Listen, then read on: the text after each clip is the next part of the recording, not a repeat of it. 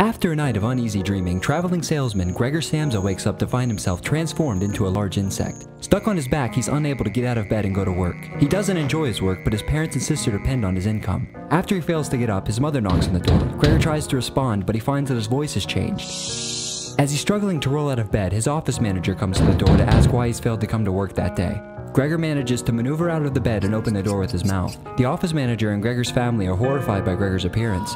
The office manager flees the apartment while Gregor's father drives him back into the room with a rolled up newspaper. Gregor injures himself squeezing through the doorway, then falls asleep.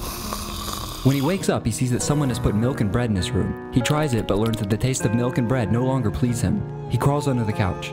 The next morning, Gregor's sister Greta replaces the milk with garbage, which Gregor eats and enjoys.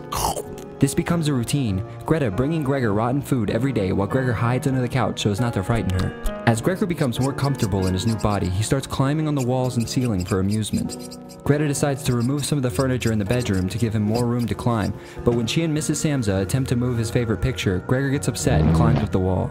Mrs. Samsa sees him and faints, and Gregor runs out of the room into the kitchen where Mr. Samsa becomes angry and starts throwing apples at him, one of which gets lodged in his back. Gregor returns to his room severely injured. Without Gregor's income, his family falls into poverty. They all get jobs and hire a cheap cleaning lady and take on three boarders. One evening, the cleaning lady leaves Gregor's door open. The boarders ask Greta to play the violin for them, and Gregor sneaks out of his room to listen. The boarders get bored by the performance and see Gregor and become disturbed. They leave the apartment without paying rent. The family discusses getting rid of Gregor, saying they'll be ruined if he stays. Gregor overhears this conversation. He goes back into his bedroom and dies, and his body is discovered and disposed of by the cleaning lady. His family, relieved by his death, takes a trip to the country and starts making plans to move to a smaller apartment. During the trip, Gregor's parents notice that Greta has become a beautiful girl and decide that it might be time to find her a husband.